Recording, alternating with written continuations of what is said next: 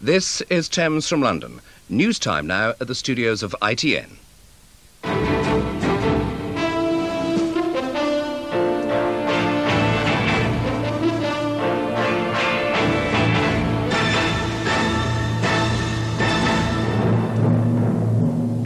MPs are voting now on televising the Commons. Good progress in Geneva. They may talk to the press together. Mrs. Reagan says it's not a fashion war.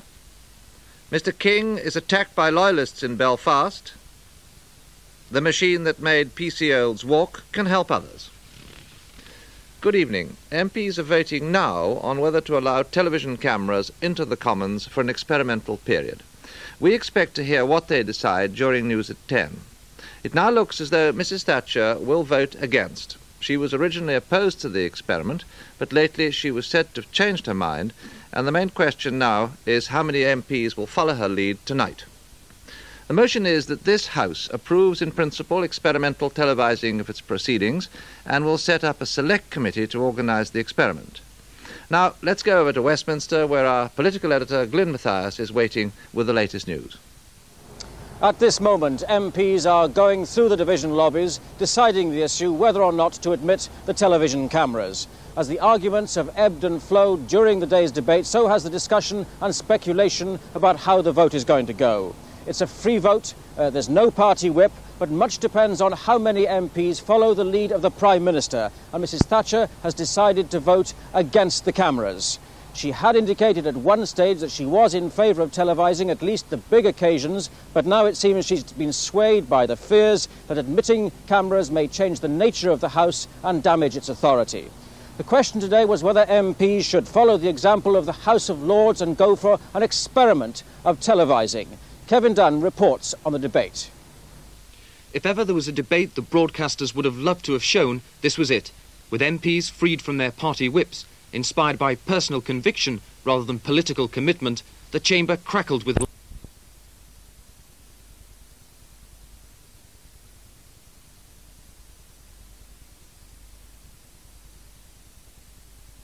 Bring forward proposals that can create a framework, perhaps a new framework in which uh, there can be equality of treatment of all people, which will be the basis of a whole process of reconciliation. That's how I intend to judge the outcome, but we must wait and see but the size of the anti-Hume, anti-Dublin lobby is well known. In the forefront of loyalist opposition, Ian Paisley joins official unionist colleagues in threatening resignation of their Stormont and Westminster seats and will attend a unionist summit tomorrow. Reaction from the loyalist community itself, no one can predict. The paramilitary Ulster Defence Association say they'll wait and see. But the British government is mindful of the reaction 11 years ago to the Sunningdale Agreement, when the Ulster Workers' Council strike caused havoc here and destroyed any thoughts of a power sharing executive. We've had these agreements before, and every one of them has been bust, and this agreement will be bust. Can you tell the people of Northern Ireland that in no way is the sovereignty of Britain over Northern Ireland diminished when it is? I mean, that is pure lying through their teeth and it will not be accepted by the people of Northern Ireland. Who do they take us for? They think we're idiots? Northern Ireland is littered with failed political initiatives, but this one could have some success. Never before have the British and Irish governments reached a consensus on the province, and they will do so tomorrow with a determination to resist loyalist condemnation, balancing that with an unequivocal joint commitment to defeating the provisionals. Michael Macmillan, News at 10 at Hillsborough Castle. The High Court in London has released the assets of the National Union of Mine Workers. The judge, Mr. Justice Nicholls, lifted the sequestration order on £10 million of the union's money today after Mr. Scargill and the rest of the union's executive went to court to apologise for their contempt. The order was first imposed a year ago. Unexpectedly, Mr. Scargill took the whole executive from the TUC to court for what for the union was going to be an historic apology. A fleet of taxis ferried them there. Apparently, the president wanted all 24 to be present if he was to climb down in public. Court 40 was packed. Messrs. Scargill, McGahey, and Heathfield squeezed onto the front bench, along with lawyers, the receiver, and the sequestrators. Behind them, nine barristers. And behind them, the full executive, the public, and dozens of reporters, many standing, others unable to get into the court at all. For the union, Mr Gavin Lightman said the burden of sequestration was heavy, the contempt would not be repeated, the strike was over. The court was hushed as he read out this key sentence.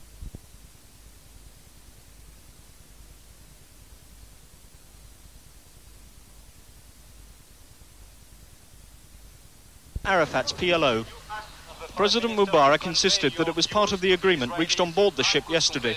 They could ask the captain of the ship who informed us that they haven't, that they have no body injured on board of the ship. It is registered and recorded in our uh, recorder. But apparently, uh, Ambassador, uh, American Ambassador Veliotis was aboard the ship, and when he found out that one of the people, one of the Americans, was killed. Why didn't the captain tell us that uh, uh, there is somebody killed? Would have changed our mind in the whole process. Late this afternoon, the Achille Lauro was waiting to leave, and the six Britons who were among the hostages appeared on the rail to wave to newsmen below. The six, five dancers and a hairdresser who work on the liner, were obviously relieved. It's been a very trying ordeal for them, but I, am proud to say that uh, they've done a very good job. Actually, they've um, they've uh, they kept on a brave face, and uh, I think some of the passengers have come up to us to say. Yes uh, how you know strong they've been and how cheerful they've uh, kept everybody. Yes, I think you can be very proud, proud of them. The Egyptian argument is that saving the lives of those on board was the overriding consideration. That the agreement made with the PLO was made in good faith before anyone knew of any killing, and only on the condition that the hijackers would be brought to justice by the PLO itself. But tonight, Egypt, a country so firmly allied to the West, is coming under fierce criticism from the United States, let alone the Israelis, who are claiming they've irrefutable proof that the PLO knew in advance of the plot to hijack the Italian ship. David Smith, News at 10, Cairo. It now seems almost certain that the Israeli government knew all along that Palestinian gunmen were going to seize the boat, and highly probable that although ministers were silent throughout the crisis, that they knew more than anyone else about who was on the Achille Lauro and why. Military sources say their intelligence knew that a radical group was attempting to launch an attack inside Israel, using a vessel that would visit this Israeli port as cover. Once here at Ashdod, a regular stopping off point for Mediterranean cruise liners, they would launch an attack. The Israeli Navy, already having stopped several previous attempts by guerrillas to land by rubber boat, knew that an act of sea piracy was expected. Tonight, the head of military intelligence confirmed it, but when asked did they know gunmen had boarded in Italy, the response clouded the issue. I w- wouldn't like to, to uh, react on, on this uh, point. The government, it's now being said by intelligence sources, knew that the four gunmen boarded the vessel at Genoa and that plans existed for Israeli forces to board the Achille Lauro once she had left Egyptian territorial waters. The question now is why apparently no other government had been told about it.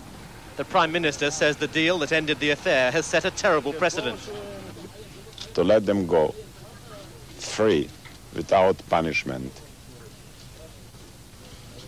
Meanwhile, more than 500 passengers flew in from Rome. They had left the ship in Alexandria before it was hijacked. Among them, a number of Britons with mixed feelings.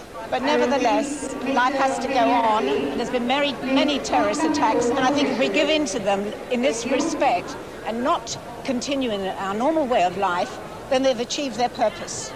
They hope to board the ship tomorrow, a holiday many wish was over rather than restarting. Brent Sadler, News at 10, Israel. Whatever the Israelis may have known, at the White House, the long hours during and after this hostage crisis have found the Reagan administration in confusion. Never certain quite what had happened, the confirmation that Leon Klinghoffer, a double stroke victim, wheelchair bound, had been murdered by the hijackers only came once this man, Nicholas Veliotis, America's ambassador to Cairo, had boarded the liner. On ship to shore radio, he reported back to his embassy.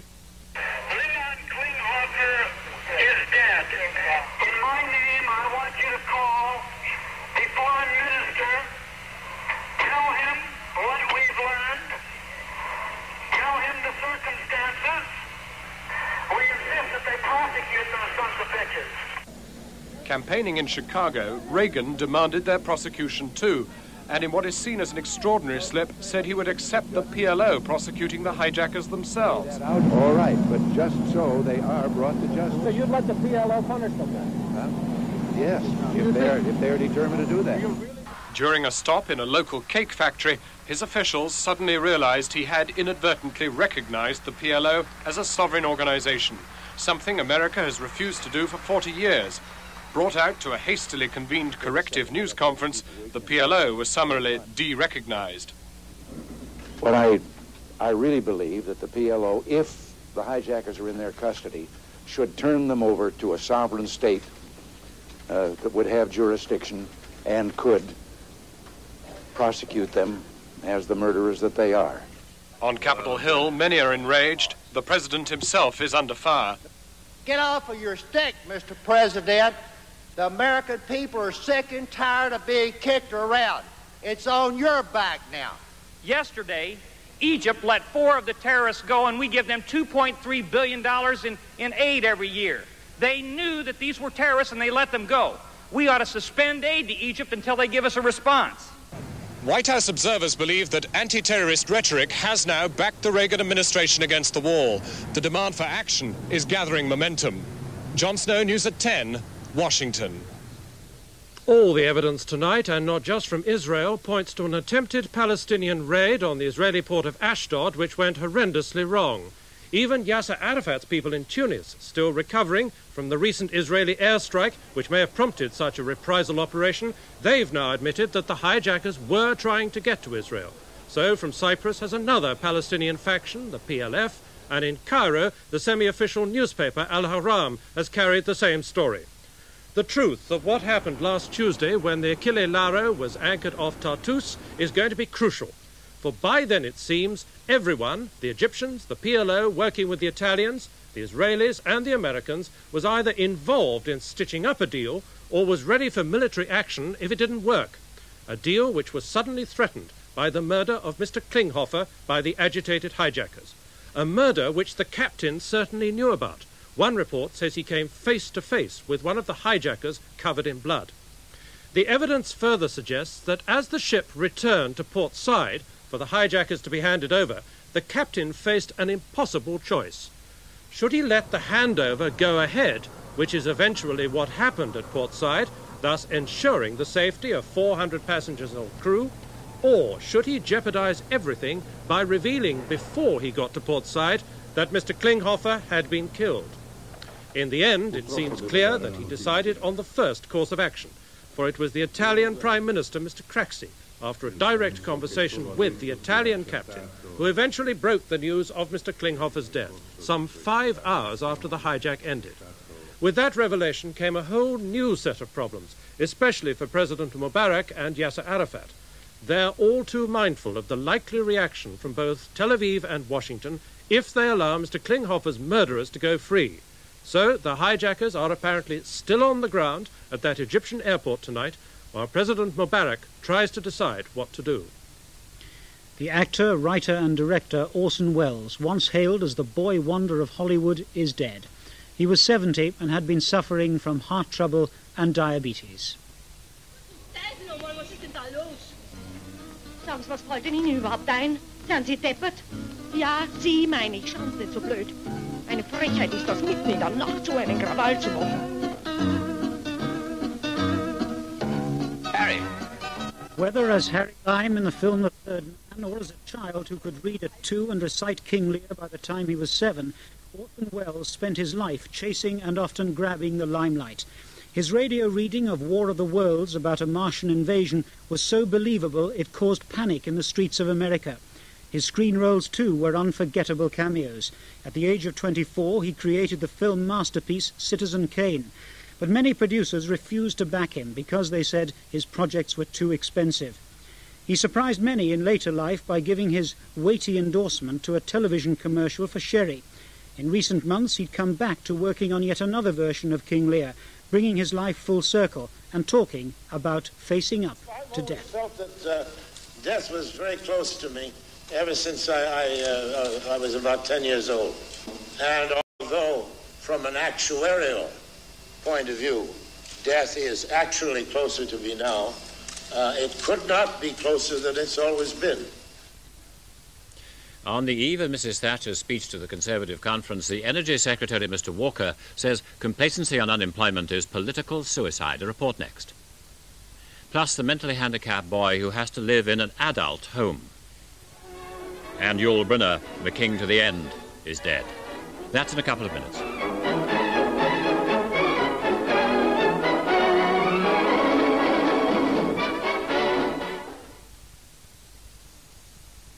When you see how cleverly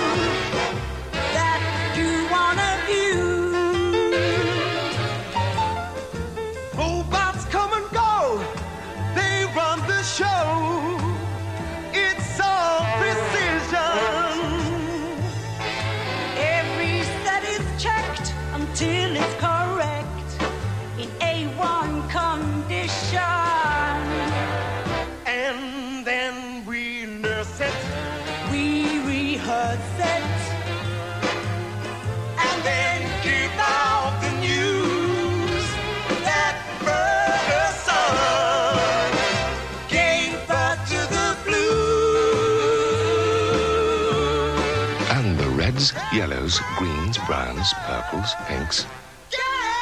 The new FST sets from Ferguson. With flatter, squarer tubes. No one is more switched on. There's a health food store in your neighborhood that sells six different kinds of rice, including brown, that has a full range of fiber-rich beans and pulses. Lots of pure fruit juices and pure water more mueslis and yogurts than you thought possible. There are whole wheat pastas, low-fat milks, and even low-fat sausages. And uh, we also sell bath salts. Sainsbury's, where good food costs you less. World Cup football for the family. England versus Turkey at Wembley. Come early to be sure of a seat.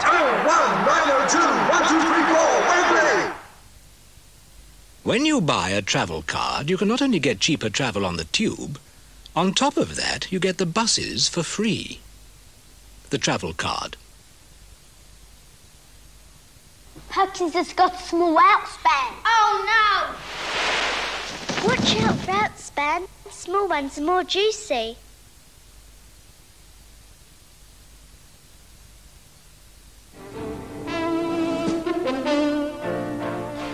The Energy Secretary, Mr. Peter Walker, said in Blackpool tonight that the Conservative Party was giving the impression of not caring about ordinary families. He said complacency about unemployment was political suicide. He spoke to the Tory Reform Group on the eve of Mrs. Thatcher's speech to the party conference, and a day after Mr. Norman Tebbit warned the Tory troops not to fire at each other. Mr. Walker abandoned his normal, carefully coded phrases and delivered his message straight.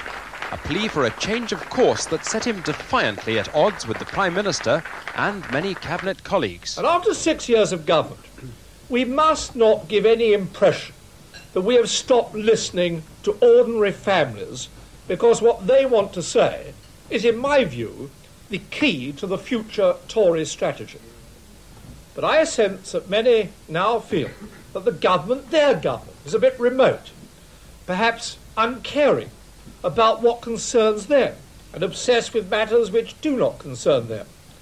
They are not moved by the latest definition of the money supply or the government's ability to hit it or, as the case may be, not hit it. Unemployment, he said, was touching even comfortable families. There can be uh, no comfort in the fact that uh, 87% are still at work. If we espouse that complacent attitude, it will, in my view, be political suicide for us amongst decent working families. For they will not be satisfied with the morality of I'm all right chap. Applause at the end for an unsettling message. Unemployment, Mr. Walker had said, was as big a potential vote loser in the tree-lined suburbs as in the decaying inner cities. David Walter, News at 10, Blackpool. The Home Secretary, Mr Douglas Hurd, told the Conservatives he would bring in a new public order bill. It would mean life imprisonment for carrying firearms, a new offence of disorderly conduct for frightening and distressing people, and new powers for the police to control football crowds and pickets. The recent inner city riots set the conference alight today for the first time this week. Mrs Thatcher heard a Midlands councillor call the rioters filth. He said they should be swept from the streets And he went further. Politicians are often regarded as arrogant. We would refute this, but is it not arrogance for us to place our views over the 85% of the population who want the restoration of capital punishment? The riots and crime in Brixton will ruin the black community more than anyone because it's their houses that burn and it's their shops that are looted. I ask Mr. Hurd, no more judicial inquiries. These hooligans are lawbreakers and must take the consequences. Winding up, the Home Secretary tried to refute claims that spending more money would end the rioting. The task of bringing criminals to justice must not be complicated and obscured by arguments about other matters.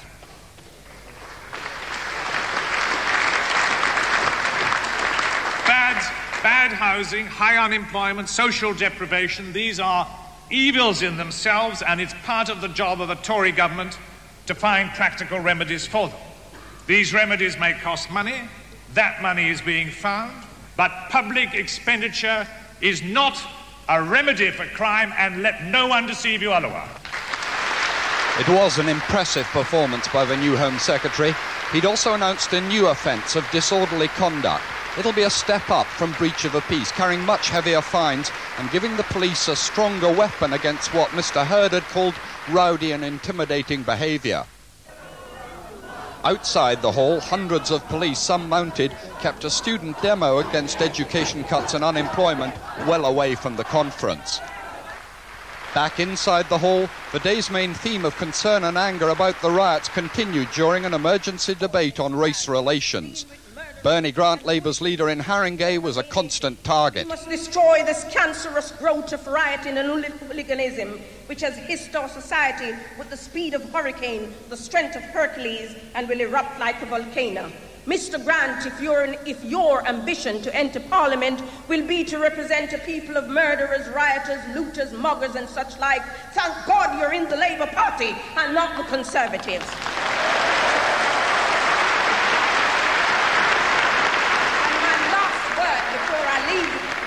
Platform is I am conservative, I'm black, I'm British, and I'm proud of all three.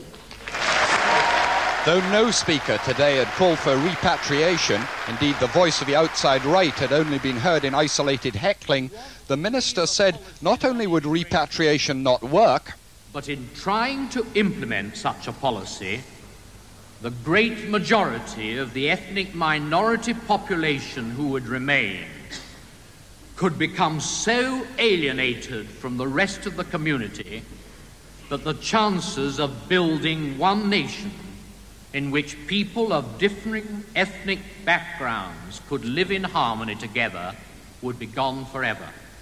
While deeply concerned about the riots, the Tories believe that some Labour councillors' apparent support for the rioters has handed them a vote winner. David Rose, News at 10, Blackpool. Tomorrow, the Conservative Conference will get a ticking off from four charities who say that the government hasn't kept its word about helping the mentally handicapped. They say that five years ago it was agreed that mentally handicapped children would be better looked after at home or in small homes in the community. And yet today, more than 450 of them are still living in special long stay Clive hospitals. Powling is 16. He is too severely mentally handicapped to be looked after at home, so has spent most of his life in Botley Park Hospital in North Surrey, the only child among 650 adults. Clive is just one of 450 children now living permanently in adult long stay mental handicap hospitals in England and Wales. According to the Spastic Society, grossly inadequate staffing means that however dedicated the nurses are, and staff at this hospital say they care very much indeed, the children are deprived of essential attention. But his mother says she couldn't cope with him at home. No, it was night and day all the time. What would you Uh, like to see happen to Clive now? I'd like, to, like him to be in a, uh, with more people, perhaps a lot more supervision. A smaller place, which I've heard of, is a good idea. Glebe House, which is within a mile of Botley Park, has been specially adapted for the needs of young people with severe mental handicaps. Just five young people live here. It's their home for life. They all had the same kind of disabilities as Clive, but because of intensive caring by eight staff, their lives have changed. Charlie, at 12, the youngest person here, couldn't walk when he came. Now he skips. Charlie went into Botley Park when he was three and stayed till he was ten. He used to be kept in a playpen for his own safety. Then he cried a lot. Now he's calmer. So what changes has his mother seen? He's a much happier child, I think. He's quieter. He's uh, cleaner. It's much easier to take him out than it was before. How would you describe um, Charlie? What sort of boy is he? He's a happy child. The health authority is trying to find a place for Clive, but Glebe House is now full and there's nowhere else he could be near his mother. Clive is now 16 and will soon no longer be eligible for a special place for children. If he does not get moved soon, he may spend the rest of his life confined in an institution. Besides Orson Welles, Hollywood is also mourning Yul Brynner tonight. He was 65. The son of a half Mongolian, half Swiss father and a gypsy mother, he was a natural for the more exotic roles on the screen and stage. And it's as the King of Siam that he'll be remembered. Now you understand about women.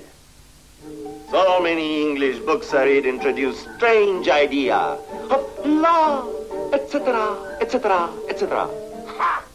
Yul Brynner, an actor of unmistakable style, made bald both beautiful and box office. He first shaved his head in 1951 for the stage version of The King and I. He went on to star in the film with Deborah Kerr and won an Oscar. Your Majesty, that many men remain faithful to one wife. He felt, though, that his looks typecast him as Siamese kings or pharaohs. However, in King Vidor's biblical spectacular Solomon and Sheba, he was allowed to appear with hair. In 1960, he starred in one of Hollywood's most famous westerns, The Magnificent Seven. Turn that rig around and get it down the hill.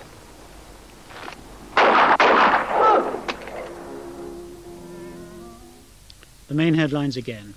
Four youngsters aged between 13 and 15 have been arrested in connection with the murder of police constable Keith Blakelock in the Tottenham riot.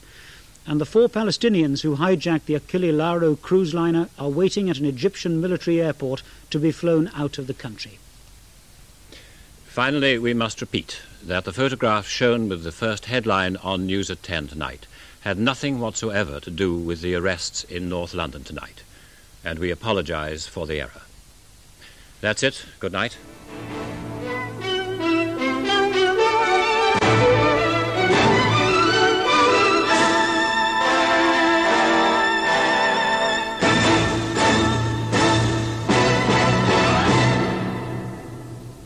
After the Thames News headlines, Cliff Robertson stars in the thriller Obsession. Why is your five called Ritz? Because it's a little cracker. The all-new Renault 5. What's yours called? Hark! Now with Allure, the new style radiator that's setting a fashion for heating. Ring 464-6575 now. Nationwide Bonus Builder is a remarkable new extra interest instant access savings scheme that you can open with just £100. And immediately some of your money will start helping to build the homes Britain wants. But there's more to Bonus Builder. The more you save, the higher the interest rate rises. Because more savings in Nationwide means more funds for more homes. And for you, it means that when your savings reach £10,000, you move to Nationwide's top rate of 9.5% net. And that's what makes Bonus Builder such a well-planned scheme. The more you save, the more you'll earn. And the more you invest, the more we can keep putting the building back into society. At Nationwide. The IBM PC-AT. Businesses now have a better way to handle the daily downpour of information. The PC-AT can store not 500, not 1,000, not 10,000, but as much as 20,000 pages of information, all safely under lock. The IBM PC-AT, your key to more powerful personal computing. Whenever I'm away from England, there are times when I long for a well-turned English phrase. For a bit of intelligent discussion about films, books, darts, and jazz. That's when I sneak off to where I can get it. The British Embassy. Your guardian, Mr. Lloyd. Thank you.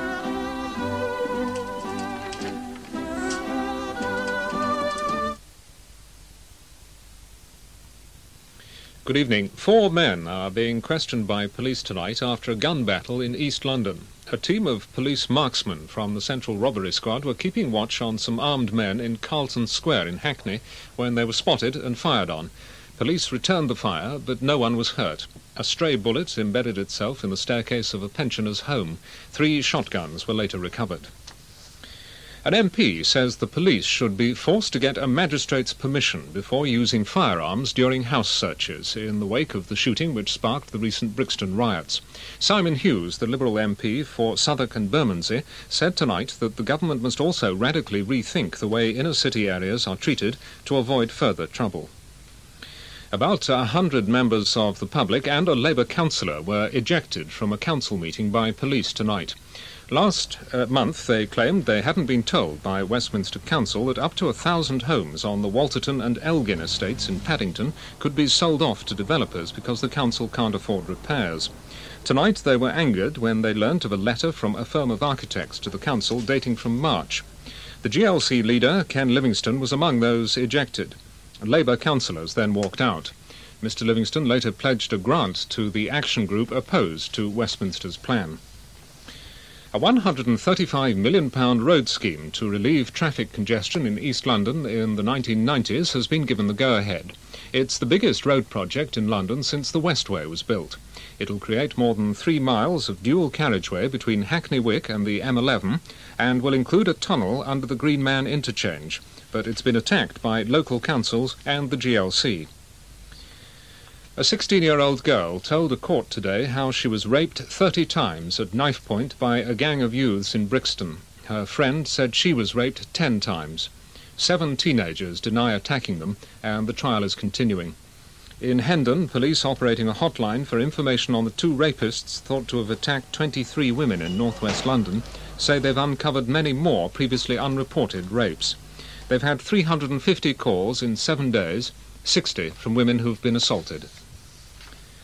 A record producer who's helped people like David Bowie to the top is grooming aspiring pop stars of tomorrow. Tony Visconti has taken 30 people under his wing at London's first pop music school in Soho. One of them, three-year-old Thomas Walter from Willesden, already seems to have star quality. But you look sweet upon the seat of a bicycle built for two. Police in Essex, who are hunting a tattooed man who tried to kidnap a 10-year-old girl, warned tonight he could strike again. He tried to lure the girl into his blue Ford Cortina as she walked to school in Pitsea. Detectives say it could be linked with similar local incidents two years ago. The man has a red snake tattoo on his arm.